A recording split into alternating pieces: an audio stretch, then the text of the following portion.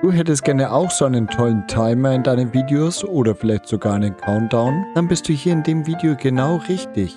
Denn ich zeige dir, wie du mit diesem Plugin perfekt diesen Timer oder Countdown erstellen kannst und es ist auf jeden Fall gar nicht so schwer, wie es aussieht. Wenn du mehr wissen willst, dann schau bitte das Video bis zum Schluss, damit du auch genau weißt, wie es funktioniert und wo du das Ganze herbekommst. Ich würde mich freuen, wenn du jetzt den Daumen nach oben drückst und ein kostenloses Abo da lässt, um mich und meinen Kanal zu unterstützen. Und jetzt gehen wir mal mit der Zeit. Wir schauen uns jetzt mal gemeinsam alle Möglichkeiten an, die es so gibt bei diesem Timer. Wir wollen hier bei dem Fahrradfahrer einfach mal einen Timer einbauen. Und zwar soll es so simulieren, als würden wir die Rennstrecke oder wenn du sowas filmst, die Zeit unten mit einblenden. Wir werden hier bei dem Raketenstart einen Countdown mit einfügen und wir werden am Schluss mein Intro nachbauen. Als allererstes gehen wir hier auf unser Videomaterial, wählen das Ganze an und gehen dann unter den Reiter Effekte, scrollen nach unten zu den New Blue Elements und klicken hier auf Time Clock. Wenn du nicht weißt, woher du Time Clock bekommst und New Blue Elements, dann schau doch mal hier oben rechts. Im Bild habe ich das eingeblendet. Dort wirst du verlinkt auf das Video, wo ich dir zeige, wie du New Blue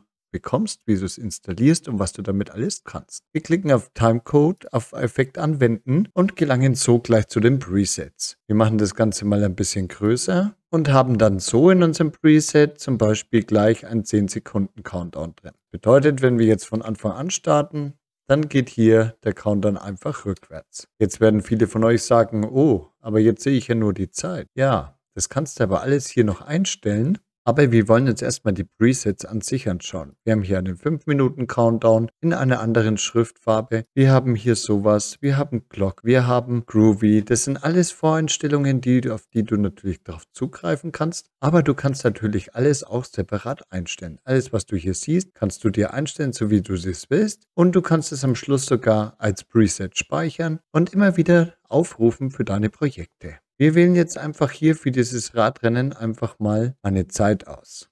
Wenn wir das Ganze hier einfach starten würden, dann würde hier einfach die Zeit laufen im Sekundentakt. Wir schauen uns hier den Draw an. Wir können hier mit der Position in X und Y verstellen, hoch und runter. Wir können hier die Größe verstellen des Ganzen und wir können den Style verstellen. Also zum Beispiel eine LCD-Anzeige oder hier oder da Je nachdem, wie es euch am besten gefällt, gibt es hier verschiedene Anwendungsfähigkeiten. Ich finde jetzt hat für diesen Fahrradfahrer eigentlich diese LCD-Anzeige am besten. Klicken wir hier auf Overlay, dann den Haken ab, dann haben wir sofort unseren Timecode hier im Bild. Wir machen jetzt einfach mal dieses Bild hier größer. Würden wir es wieder abspielen, würde die Zeit wieder von unten nach oben gehen. Was haben wir noch für Möglichkeiten? Wir können hier die Textfarbe eingeben. Zum Beispiel hier über unser tolles Rad könnten wir das Ganze rot machen. Und wir können an den Hintergrund einstellen, der jetzt grün wird. Dazu müssen wir den Hintergrund, den Background oben ziehen und dann wäre der Background hier komplett grün, damit die Zeit besser ersichtlich ist. Das Ganze sollte natürlich dann auch einfach so sein, dass man es etwas kleiner macht und wahrscheinlich hier in die untere Ecke zieht. Man kann ins Feld reinklicken und dann mit der Maus hoch und runter ziehen, um hier die Position zu verändern. Wir lassen es jetzt aber einfach mal dabei, dass wir das hier so hernehmen und dann vielleicht sogar ins Schwarze ziehen. Schwarz ist aber nicht so auffällig, vielleicht weiß und klicken wieder Overlay aus. Dann haben wir die Möglichkeit hier Stunden, Minuten, Sekunden und Frames anzuwählen. Die ganze Sache ist so, dass wenn wir hier auch noch Stunden einblenden, müssten wir hier oben einfach noch ein bisschen rübergehen. Dann könnten wir natürlich auch stundenlang hier unser Videomaterial laufen lassen. Dann würden erst die Sekunden sich füllen, die Minuten und dann die Stunden. Wir können auch hier wählen, wo wir beginnen wollen. Das bedeutet, wir können hier zum Beispiel auch einblenden. Das ist ja vielleicht nicht der Anfang des Videos, sondern die Sequenz startet hier bei Stunde 14 und Minute 19 und Sekunde 20, genau ab hier. Dann wäre alles davor in unserer Timeline in diesem Videomaterial Minus und der Rest wäre Plus. Das finde ich eine super Sache. Hier bei Frame kann man einwählen, dass die Framerate genau zu der Framerate passt, die du auf dem Videomaterial hast, wenn das nicht zueinander passen sollte. Also, wähle hier drüben beim Time-Format, welche Zeit du haben willst. Willst du Stunden mit drin haben, willst du Minuten oder willst du eher nur Sekunden mit drin haben? Willst du das Ganze ab, dann hast du hier nur deine Sekunden. Bist du jetzt am Anfang bei Sekunde 18, wählst du einfach hier runter und startest dann bei 0.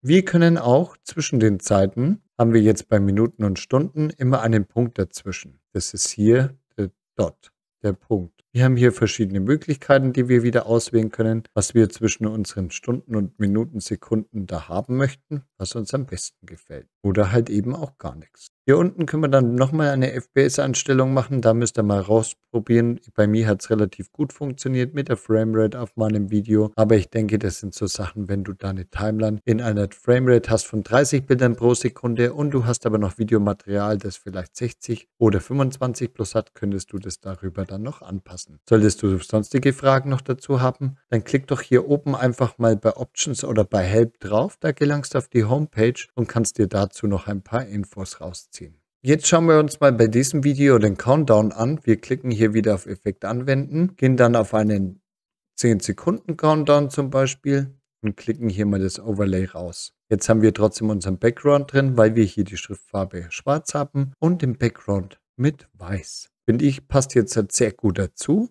Wir können den Background auch ein bisschen ausblenden, finde ich jetzt aber gar nicht mal so schlecht. Und wir starten das Ganze bei 11 Sekunden. Aber wenn wir uns das jetzt anschauen, dann startet die Rakete ja ungefähr jetzt. Und das bedeutet, wir wollen hier erst einmal den Countdown aktivieren. Dazu scrollen wir hier ganz runter und haben im letzten Reiter hier die Möglichkeit, einen Countdown anzuwählen und schon geht die Zeit rückwärts. Wir möchten jetzt halt aber hier bei 0 sein und deswegen gehen wir hier auf 0 und alles, was dann drüber ist, ist dann Plus. Lassen wir das jetzt weiterlaufen, dann ist es natürlich bei Sekunde 0, fängt es wieder bei 59 an. Deswegen machen wir hier einen Cut rein in unser Video, setzen dann unser Videomaterial hier wieder auf den X, sodass dieses, dieser Effekt hier nicht mehr zu sehen ist und gehen dann im Videomaterial davor wieder rein. Das bedeutet, wenn wir abspielen lassen, es ist jetzt zwar relativ kurz, aber ich denke, ihr habt verstanden, um was es hier geht. Interessanter wird es beim letzten Teil des Videos, denn da ist es nicht ganz so einfach. Ich habe das Ganze ja im Intro schon mal vorgestellt, wie es aussehen soll. Ich habe hier das Videomaterial, da gab es auch noch einen Sound dazu. Den habe ich jetzt halt aber mal weggelassen. Und dann habe ich mir unter den Vorlagen erstmal eine Ebenenmaske rausgezogen. Diese Ebenenmaske, die ziehen wir uns hier unter unser Videomaterial. Genauso lang am besten, wie ihr den Timecode haben wollt. Dann bin ich unter Testbilder gegangen und habe mir dieses tolle Testbild hier rausgezogen und habe es auf eine bestimmte Länge gezogen. Bis jetzt eigentlich noch nichts Besonderes. Um jetzt den Timecode hier reinzubekommen, gehen wir nicht auf unser Videomaterial, sondern hier auf die Alpha-Maske. Gehen dann hier runter und wählen dann wieder unsere Timeclock-Effekt anwenden und dann sehen wir schon, dass hier was passiert. Ich habe dann gewählt Cartoon und dann sehen wir schon, dass es relativ ähnlich aussieht zu dem, was ich gemacht habe. Danach habe ich hier einfach den Background eliminiert, aber geht nicht so weit, denn da seht ihr schon, dass ihr bloß nicht die Farbe seht, sondern geht ein bisschen nach vorne. Und dann können wir hier die Größe auch noch einstellen. Das Ganze schaut jetzt aber noch nicht so toll aus, wie es bei mir im Video ausgesehen hat. Denn ich habe jetzt hier die Möglichkeit, bei diesen Position und Größe auch einzustellen. Und je nachdem kann ich natürlich auch meine Farbe ändern von dem Video und von der Zeit.